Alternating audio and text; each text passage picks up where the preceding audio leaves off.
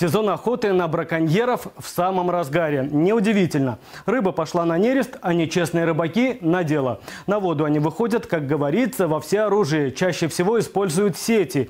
Подобные снасти появляются в самых богатых дичью местах. Стоит ли говорить, что сейчас в период нереста ущерб колоссальный? Правда, и госинспекторы мониторят ситуацию и оперативно реагируют. В их сети попали браконьеры из Миорского и Мозырского районов. Карина Пашкова продолжит тему.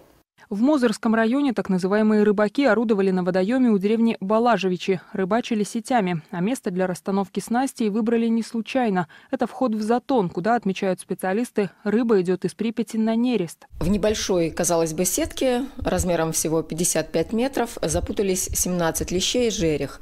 А вес рыбы составил 27 килограмм. А поделив добычу пополам, нарушители отправились к дороге с мешками.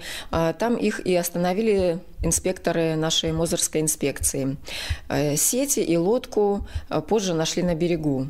По факту незаконной рыбалки уже возбудили уголовное дело. Фигуранты свою вину признали. Им предстоит возместить ущерб – около 5000 рублей. Кроме того, мужчинам может грозить штраф или лишение свободы. Это будет известно после суда. Отметим, на Гомельщине с 20 марта действуют некоторые ограничения на лов рыбы. И такса за незаконную добычу в этот период возрастает в три раза. На Витебщине нерестовый запрет начнет действовать только с 10 апреля. Однако есть некоторые виды водных обитателей, ловить которых нельзя уже сейчас. Например, щука. Эта рыба идет на нерест раньше, потому запрет на ее добычу уже действует по всей стране. Хотя некоторые рыбаки это правило игнорируют. И в данном случае хороший улов приносит им скорее большие убытки.